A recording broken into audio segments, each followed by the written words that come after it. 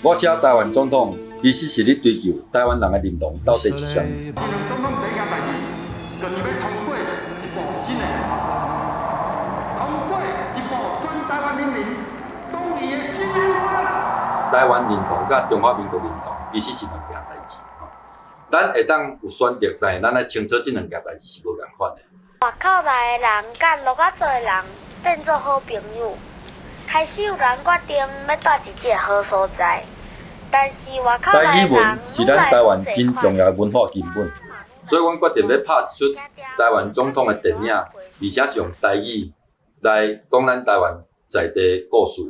当然，阮希望透过不断的创作的过程，会当引起大家共鸣。啊，而且会当支持台湾家己有家己的文化主体性。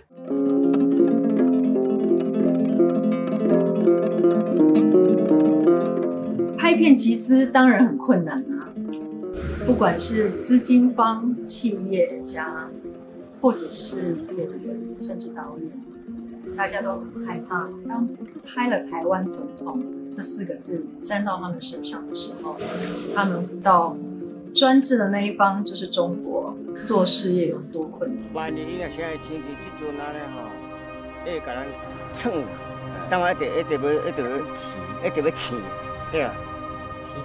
台湾的人吼，台湾的人毋是讲很软，佮上尾也无法度的时阵，就是讲大面嘛出去，也对头也久了，嘛爱改变。裴洛西女士令人敬佩的是，天安门事件后两年到达了天安门。广场为当初为了中国民主事业牺牲的烈士而举旗。二二八也过了七十五年了，谁来为台湾的民主先烈举旗？所以，我们毫不犹豫的决定开拍台湾总统的一部曲。我们以二二八作为片名，献给为台湾。民主事业牺牲的烈士。